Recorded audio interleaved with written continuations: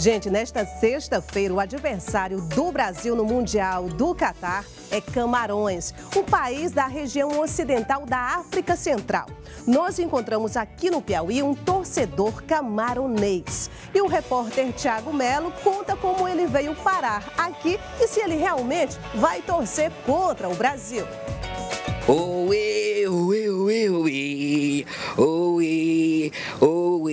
Let's go, let's go, let's go, let's... Alonzi, Alonzi. O futebol ajuda Boris a matar um pouquinho da saudade de casa. O jovem camaronês natural da cidade de Bamenda ganhou do amigo brasileiro com quem divide apartamento em Teresina uma camisa da seleção personalizada para torcer pelos leões indomáveis. Foi presenteado por um amigo de coração. Eu, na verdade, é meu irmão, porque aqui no Brasil não tem alguém assim na minha vida igual a ele, né? É, amo muito ele e ele me entregou esse como um presente de coração. O africano vive na capital piauiense há oito anos, mantido por um convênio entre Brasil e Camarões na área da educação. Ele afirma que o coração também é brasileiro. Boris reconhece tudo que o Brasil já fez por ele. Aqui no Piauí, ele concluiu a graduação em farmácia e está perto de concluir o mestrado. Mas quis o destino que Brasil e Camarões caíssem no mesmo grupo e ele teve que escolher um lado para torcer.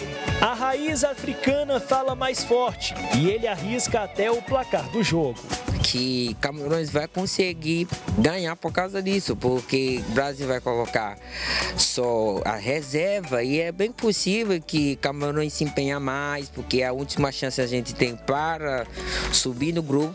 Mas é assim que eles vão, a gente vai conceder um gol, mas Camarões vai chegar, equilibrar e fazer um outro para completar. 2 a 1 um. Na sexta-feira, neste horário, a gente já vai saber se Boris é um bom palpiteiro. O amigo Ricardo espera o africano com a camisa do Brasil na próxima fase. Ele incorpore a torcida brasileira, né?